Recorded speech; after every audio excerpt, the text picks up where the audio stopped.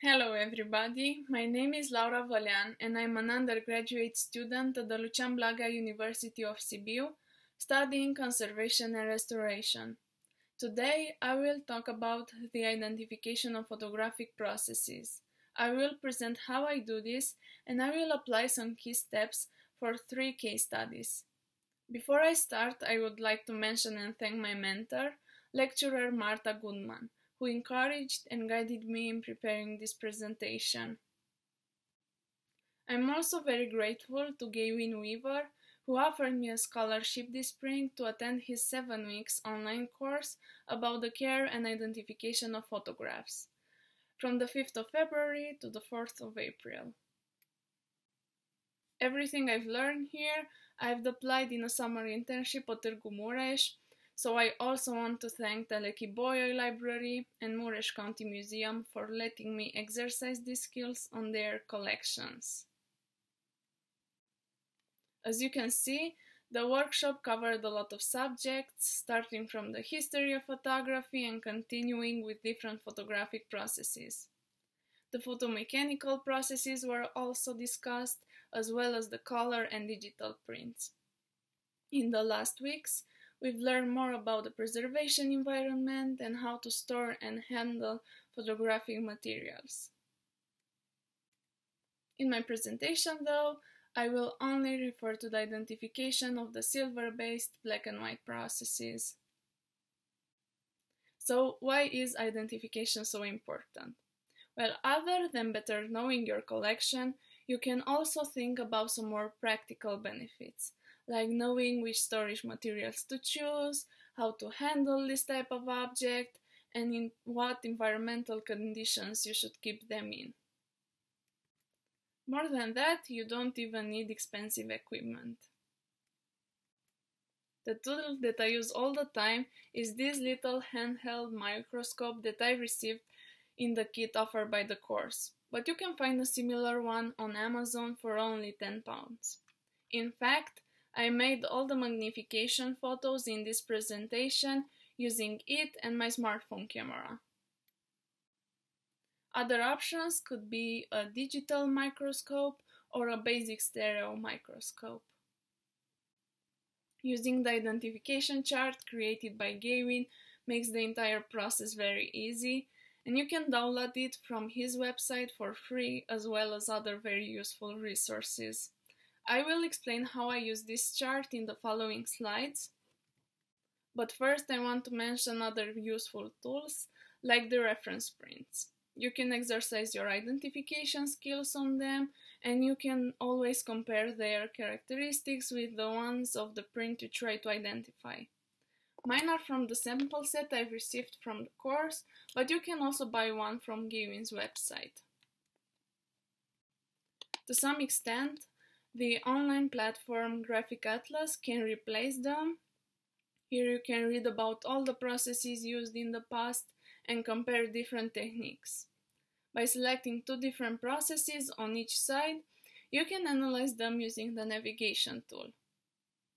In this way, you can change the side of the prints, their orientation, the light source, and the level of magnification.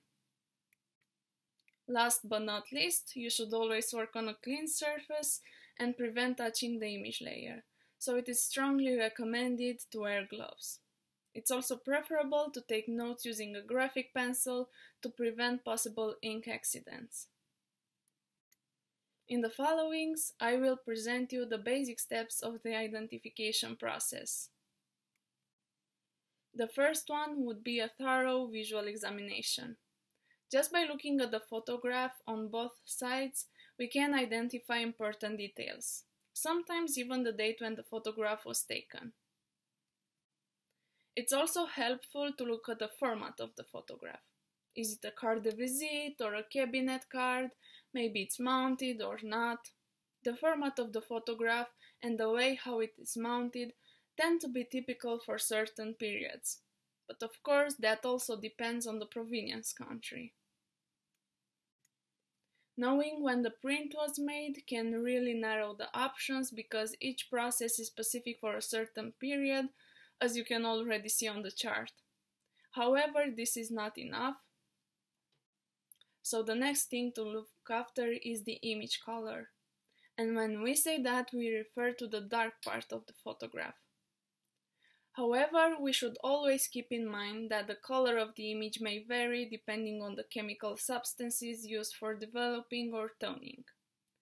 Also, it can differ regarding how deteriorated the print is, but we should not mistake yellowing as the image color. On the chart, the photographic processes are divided into two rows depending on their color. On the first are the more reddish purplish brown prints, and on the second, the ones with a more neutral black or brown color. Next, we will analyze the surface of the image to decide if it's velvety matte, semi-matte, semi-gloss or glossy and then we will look at the photograph throughout the microscope. In this way, we can determine if the paper fibers are visible or not. If not, maybe we can see the baryta layer or the matting agents. Sometimes we can discover an interesting pattern that shows the print is not even a photograph but the result of a photomechanical process. Photomechanical prints are a production of photographic images and they were never light sensitive. The example presented in the last circle is a collotype, but other photomechanical processes are photogravures, rotogravures, letterpress, halftones, and offset lithographs. By considering the image surface and by looking under magnification, we can better understand the structure of the print and locate the process in one of the three columns from the chart. Now we should have an idea about what process was used to make the photograph by narrowing our options to only one. But if we still are unsure, we can examine if there are any deteriorations. Here are some examples of fading, abrasion, yellow discoloration, and silver mirroring. Some of them are representative for certain processes, and you can find them in each section of the chart. So these are the key steps I followed in the next case studies. The first one is a print belonging to the Teleki Bolyai library. This is an image of what it looks like a dead person. According to the librarians, he is Farkas Bolyai, an important Transylvanian mathematician who lived between 1775 and 1856. This is quite an important aspect because there were only two possible processes in that time. Salted print, one of the first photographic processes, and albumen print, which only started to be used in 1851. We can also see that the photograph is faded and in the past someone even drawn it to accentuate the features of the face. By looking at the print, we can see that the image color is reddish brown, so we should only look at the first row of the chart. The surface of the image is velvety matte and this will indicate a process that is on the first column. That can be confirmed by looking under magnification and in this case we can clearly see the paper fibers. All these characteristics can only indicate one process and that is salted paper. I must add that this is quite a rare photograph given the fact that there aren't so many salted prints. That's because the daguerreotypes were more common between 1840 and 1860. Maybe this is the reason someone misidentified it in the past as being a daguerreotype. However, this wouldn't be possible because the daguerreotypes were made on silver copper plates. This print was protected by a great enclosure and stored in optimal environmental conditions. So my only re recommendation was to change the label of the displayed copy from daguerreotype to salted paper. The second case study is from Mureș County Museum and it's a small image of a soldier from the First World War, as the year written on the back says, 1917. The small size and the dark edges show it was printed using a contact printing frame. This means the negative was in contact with the paper and exposed to the sunlight. This is called a printing out process or POP. Other features we can observe are the reddish-brown color, the glossy surface, and the fact that the paper fibers are invisible. We can also see that the print is faded and discolored, especially at the edges.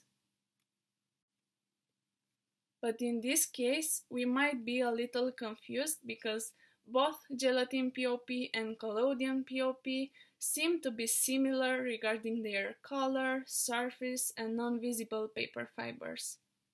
The one thing that differentiates them is how they deteriorate over time.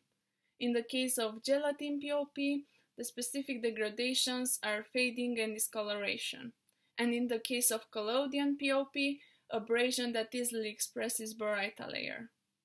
As we already said, this print is faded and discolored, but we can't see the baryta layer exposed through our abrasion. So the only possibility that remains is gelatin POP, or in other words, gelatin silver chloride print. In the last case study, we have another small print in the format of a carte de visite. On the front side, we can see the person's name and the year when it was made, 1910. On the back, we observe what remains from the studio's and photographer's name. From how it looks, we can deduce that this print was once mounted. Regarding its characteristics, this time the color is neutral black, so we will look at the second row of the chart. Observing that this photograph is matte can confuse us, but by looking at the third column, we see that here every level of glassiness is possible. Moreover, the paper fibers are not visible, but we can spot the matting agents instead. Analyzing the degradations, we can remark the abrasions and also some silver mirroring. All these particularities demonstrate that this photograph is a gelatin silver print. Identifying these two photographs from Mureș County Museum helped to complete the database of the photography collection with a description of the processes used. In addition, I recommended a relatively dry, cool, and stable environment. This would mean 30-40% relative humidity and a temperature below 18 degrees Celsius. I also suggested protective enclosures made from acid-free lignin-free paper within a box. Now here is the reference list. And before ending the presentation, I would like to add that taking part in this online course was a very useful experience and an important addition to my training in conservation. The course is held again this fall and will be held in spring too. I would encourage everyone interested in this topic to apply. If you have any questions I can answer regarding the course or the information conveyed by it, please feel free to contact me at this email address. Thank you for your kind attention.